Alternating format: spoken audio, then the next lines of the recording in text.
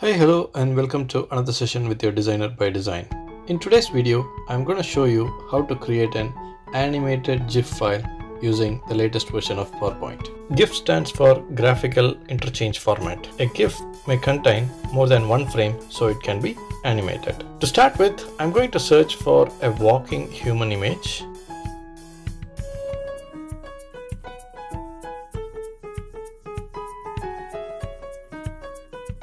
Alright, this image has the complete walking cycle and that's what we need. Okay, this image is available for free download. When you download image, do make sure it's not a copyrighted image. I have a video that shows how to search for non-copyright images. I will leave the link in the description for you to watch. Okay, now let's copy this image to the PowerPoint slide. Here, we don't need slide this big, so I'm going to reduce the width and the height to just fit the size of one human figure from the image. To do that, click on the design tab, select slide size and custom slide size. Here, I'm going to set the width as 3 inch and height to be approximately 5 inch. Then click OK. Now let's align the image to the center of the slide.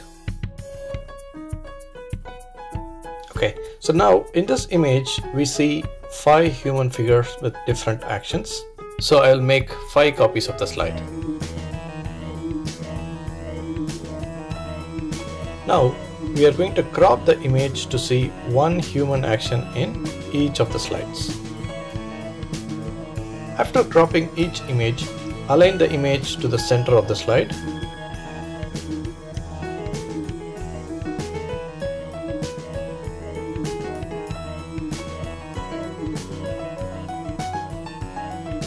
The key here is to align each figure so the shoulder to hip is at the same position.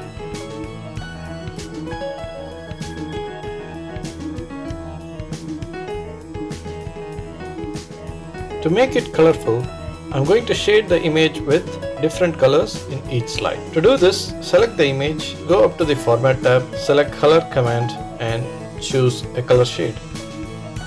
Now repeat this process for the rest of the slides. To create a GIF file, go up to the File menu, click Export and select Create an Animated GIF. Here, you may select the size of the GIF file.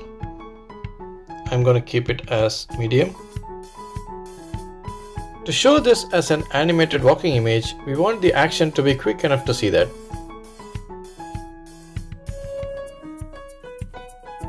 So I'm going to set the seconds spent on each slide to be a fraction of a second and then click create GIF.